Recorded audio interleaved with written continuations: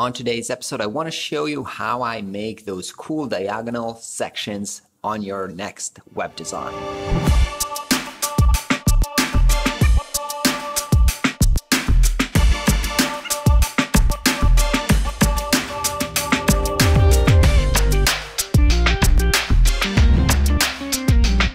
Hey everybody, welcome to this new segment on my channel, which is going to be called, I think, Webflow Weekly, where I want to share and answer some of the questions that I regularly ask when I regularly get asked about how to build stuff with Webflow. This week, it's a very common question about how to make those diagonal um, sections. And this is what I mean by this. This is just one example I found on Dribbble from Darinka, but you can actually see that um, it's very, very common to create these kind of like diagonal sections. Um, you can see this repeating all over, and it's pretty cool. It's pretty awesome way to break out of this kind of boring uh, section changes of colors and kind of like make um, objects on the grid. And, and it's pretty cool and it's so easy to do. So I just want to show you how I do it. Let's jump into Webflow. I'm going to start a blank website call this diagonal because we don't need templates, right? Templates are lame. So let's see how I'm going to do this. So I'm just going to very quickly throw in one section. Let's call this blue section. Um, let's make it just for the example, maybe 600 pixels wide and give it kind of a, um, a cool gradient color, um, even maybe diagonal blue color. So this is going to be one color and the other one is going to be maybe this color, uh, something like this. All right, so we have the first section, and uh, which obviously we're going to throw in content later on, but let's throw this next section.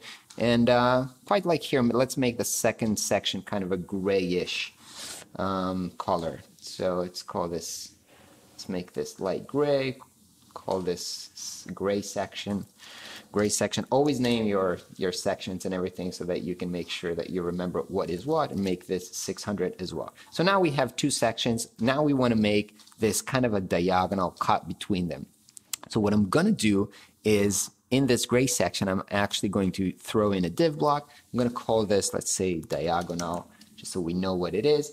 And I'm also going to give it this gray color. Um, so let's go here and copy this color and paste it here in the background color. And I'm going to give it some height like 300 and then what I'm going to do is I'm going to go here into the rotation or transforms and I'm going to rotate it. So let me just rotate it something like this. Okay so this is now rotated and then I'm going to add one more transform which is going to move it a little bit higher. Um, wait that's not working. So let's move it up.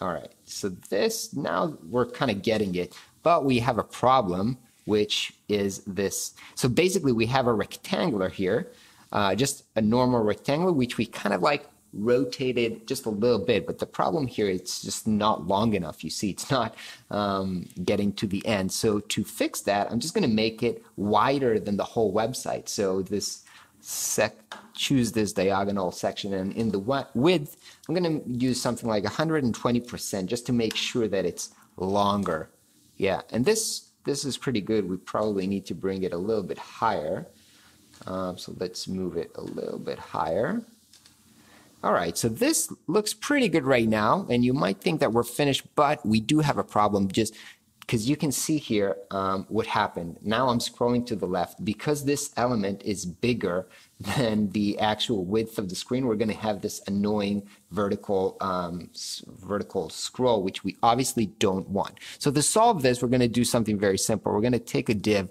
and call this page wrapper page wrapper and we're going to actually put those two sections inside of it. So now they're actually nested inside this huge div. And what we're going to do is we're going to say this div is 100% width and of the of the body. So it's just 100% and we're not going to allow for content to overflow. We're going to set the overflow to hidden which means that if something is larger inside of it and it is larger because this diagonal here is larger we're not going to be able to show it and so this is not going to be even uh, allowed to scroll. So obviously you can't see this right now but the scroll issue is now completely solved and we basically have this diagonal cut.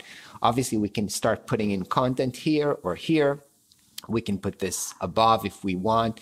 Um, we can make this you know we can change the, the, the rotation to make sure that we like how it is designed but basically we are ready now if you want to do something a little bit more complicated like like here this is not just you can just take a, a, a rectangular and change this you can actually bring this in as an svg um, as an image and then just put this svg there um, you know and make sure that it's 100% but Basically, it's very, very simple. And this, this very simple example with a diagonal is without an image, which means it loads super fast. And as you can see, it was very, very easy to set up which is always why I like to do kind of like custom things and not just stay within the template where it's all set up ready for you. Hope this was valuable for you. If you want to learn more about how to master Webflow, check out the link in the description. I'll see you on the next video.